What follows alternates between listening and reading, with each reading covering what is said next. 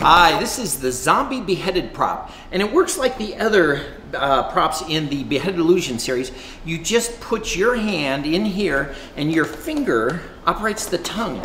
And so this is great for like zombie walks or haunted houses or just a costume accessory that kind of brings everything to life.